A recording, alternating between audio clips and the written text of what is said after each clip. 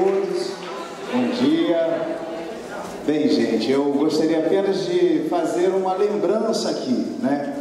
A gente iniciou esse processo da obtenção desse projeto para Macaé em 2012, quando ainda o prefeito Aloysio estava muito bem nas pesquisas, não havia ainda ganho a eleição, ele chamou a Alessandra, nos chamou e falou, Luciano, esse é o maior programa do governo federal.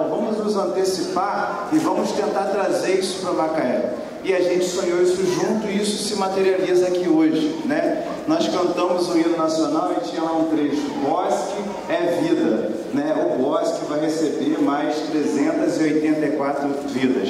Sejam bem-vindos. Eu espero que essa casa, de fato, como o vereador aqui colocou, transforme a vida de vocês. Um beijo no coração de todos. Muito obrigado.